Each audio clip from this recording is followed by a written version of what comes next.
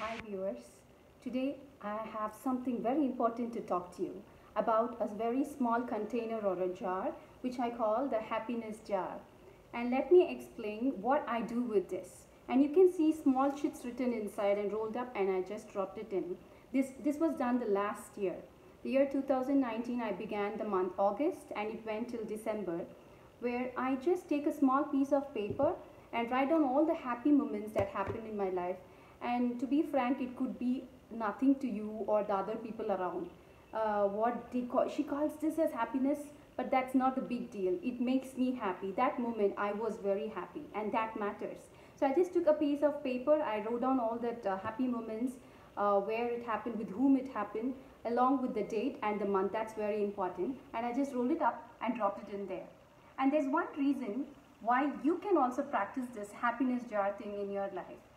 Because uh, per day there are 66,000 thoughts which goes through any human being's mind and most of them will only be negative because we have been tuned to because of the life and the stress that we live each passing day.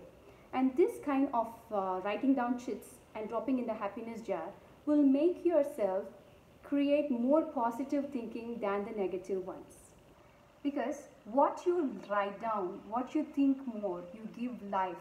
And when you write more about, or when you think more about happy things and memorable, beautiful, happy, positive moments, you draw more happy, positive moments into your life. Law of attraction works like that.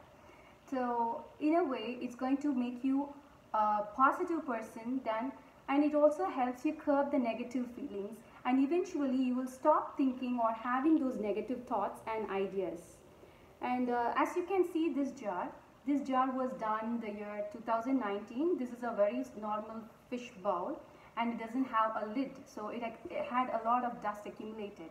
Probably you can just go for any jar which you have at home, a new one or an old one, uh, which has a lid to keep it away from the dust.